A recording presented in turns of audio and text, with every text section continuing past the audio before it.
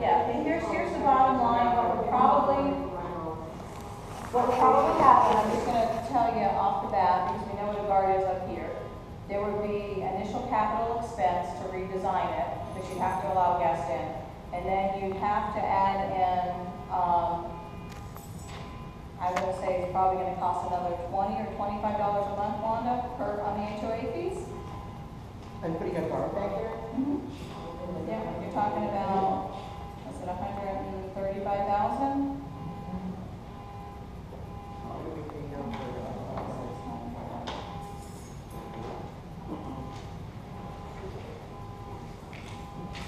You're gonna probably, it's probably cost, I'm gonna say about another twenty to twenty-five dollars a month in HOA fees to add a guard there. I mean, we paid nineteen, eighteen. And then you also have to remember too, that, you know, Greenwood Manor is also part of the community, and they just have a slide gate and they don't have a guard. So, you know, you put two guards here and they don't have a guard over there, I mean, that, We don't that, have a problem. you gotta look at the No, you whole won't. picture too, do you know what I mean? I understand what you're saying, maybe there's some other options we can look at, I certainly would, would like to maybe entertain it, see what we can do, but, you know, from a board perspective, I have to look at how you're being fair to everybody. and, Yeah, but when you bought a know, Greenwood- I would get the fairness point too, between, because they had issues over there, and they don't have a guard, so it's a balance. Maybe But- we can come up with some kind of compromises, I don't know, we can certainly take a look at it. But they knew when they bought there, there was no guard. It was never im- implied there would ever be a guard at Greenwood Manor. So to bring up now that they need a guard, that's like, you know, and when we bought here, the original homeowners, that was the front gate. So they had to close it down and then complain you can't reopen it.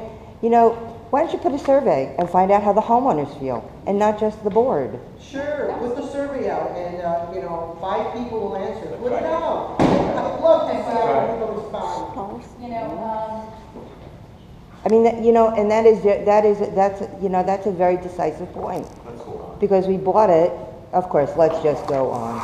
I would love to, I would love to volunteer for the finance committee.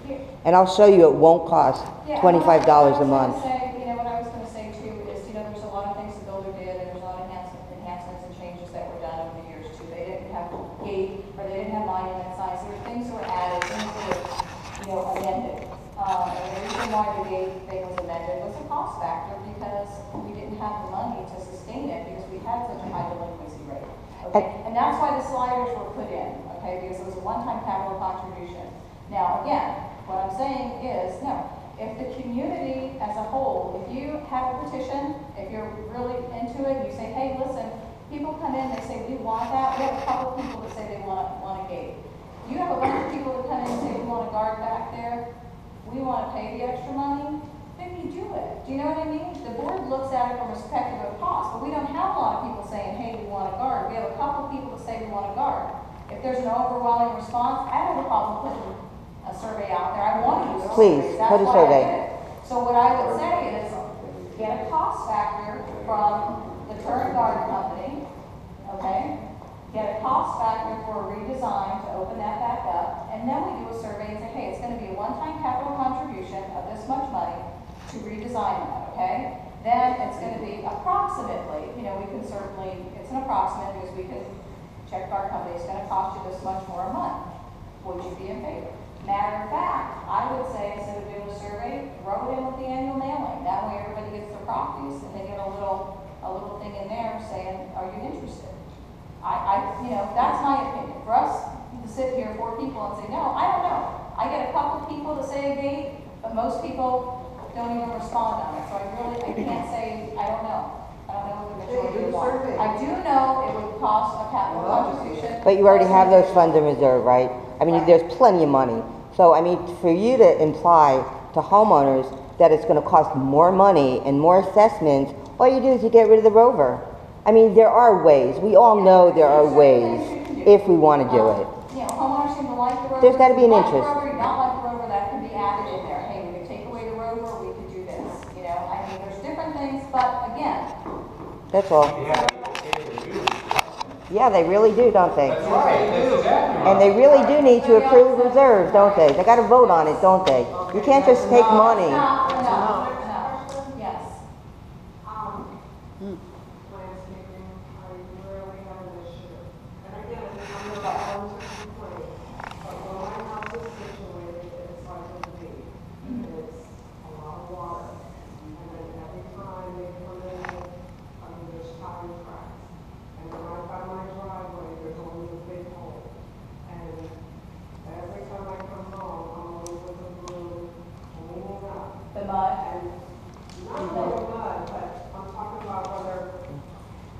Amen.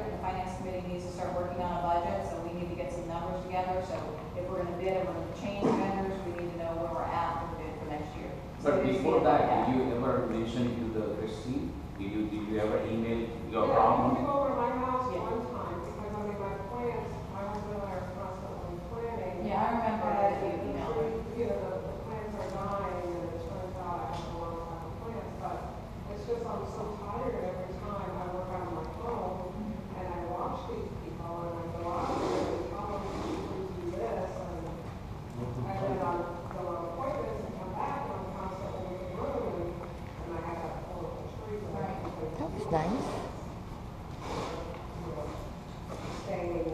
Right, but it, we're, like I said, we're getting bids, so it is being looked at, okay? I think this lady back there is Go ahead. waiting a little bit, and I'll get to you. That's fine, that's fine. Oh, back here, I'm sorry. Is that what you meant? One of you two was, had your hands up. I think she was first here, right? I just, to continue on with the landscaping, I know Christine has come out to our backyard because we have the racetrack, which we always refer to it as, as that, um, every time they mow, almost all the time.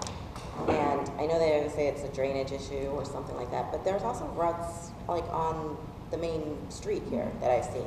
And I have family that lives in Bay Winds, I have family that lives in Briar Bay, and they don't have those ruts. So I can't imagine that they have any less rain than we do over here.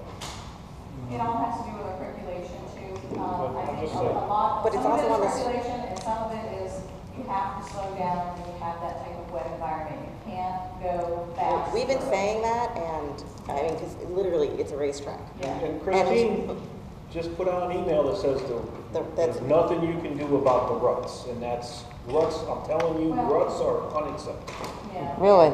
unacceptable. And I agree, I agree with that. So I'm not disputing that. I'm saying it is an issue with a wet property. And I have checked with other, and I've asked you to even Tommy Brower that's our fertilization. He says he encounters it in all of his western communities, because this area was so swampy out here. So you will always have a percentage. I, I can't say that we would ever get a landscaper and you're gonna have no ruts. I don't think that's gonna happen.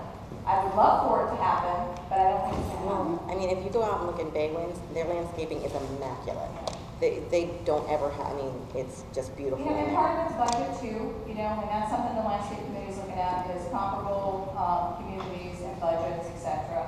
I mean, I know like Buena Vida, theirs looks really good most of the time, and that's where we took our, um, when I met with them, because I do reach out to other homeowners associations, and they separated their contract out, and they have separate vendors, so that's kind of why we modeled after them, because it was working well over there. And, um, but their budget's a million dollars for landscaping. They have less homes than us, so their, their, theirs is double our budget. So again, your budget is part of it, your workforce is part of it, so you gotta look at the whole equation on it to determine, you know, where you wanna go. Today, we've noticed that the ruts aren't as bad today, but now it's, our grass is like this. Uneven. Yes, This is a weed whacker. well, that's what they said, but we have like this one weed that goes all the way out, that's growing up like half a heart. That column, But so I don't know as I about said, that. we're looking at, you know, we're bidding it out, so, you know, we're gonna see what other vendors come in at on it. Oh, quick, quick, are you allowing the same company, current company, to Pardon me? are you allowing the current company to bid? Yes, Which absolutely. one? The current company, yeah. Yeah, you can bid on it, but Yeah. there's gonna be other bids.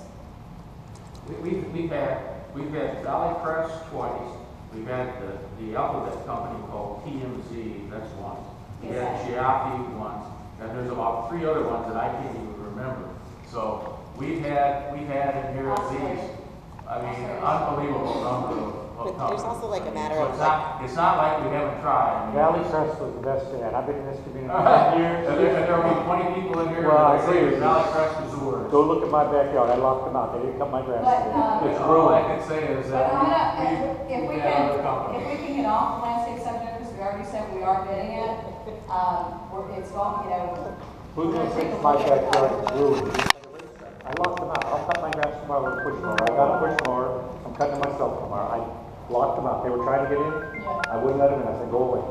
It's well, ruined, you it's ugly. know, I know, like, most of the time you bid on the Huh? wall. Let's see, okay, hold on. Damn, that was the best way to put it. I've been trying to tell them for a month. Right here, that's very Not patient, damn. and I'll get to you. Pay more HOA, get I was better just gonna address, service. What we talked about before about security, uh, from Greenwood Manor, no, it wasn't a guarded gate when we bought there, but we're concerned about security also. There's a lot of tailgaters that go in there, and I belong to this whole community, and so does everybody in Greenwood. So So we want security there as well too. So just to keep that in mind. But what I originally wanted to talk to you about was the payment plan for the late assessors. And yes, you do have to have, I come from a banking background, or a policy that does not discriminate. Exactly, So the policy, in the policy, you could have like, um, like you were talking about different situations. You could say, we want to look at the dollar amount, we want to look at your credit score, we want to look at the other issues involved. We, we want to, you know, so there's certain things that you're going to look at. And if it gets to a certain amount, ten thousand dollars, whatever, no, never. So you just, that's in the policy. And you'd like to know. I agree, thank you, and and Terry, we would like, if you wanna, you could maybe Sure. throw something our way on that, it would be greatly appreciated. Thank you. This nice lady right here. Well, so no, I, patient. I, I'm new to the area and I live in Waterford. I Okay. live on the corner of um, Plantation Estates Drive. Uh-huh. I don't know what the street is going in, Okay, but it, it has to do with the way everything drains. okay, We have a drain that it sits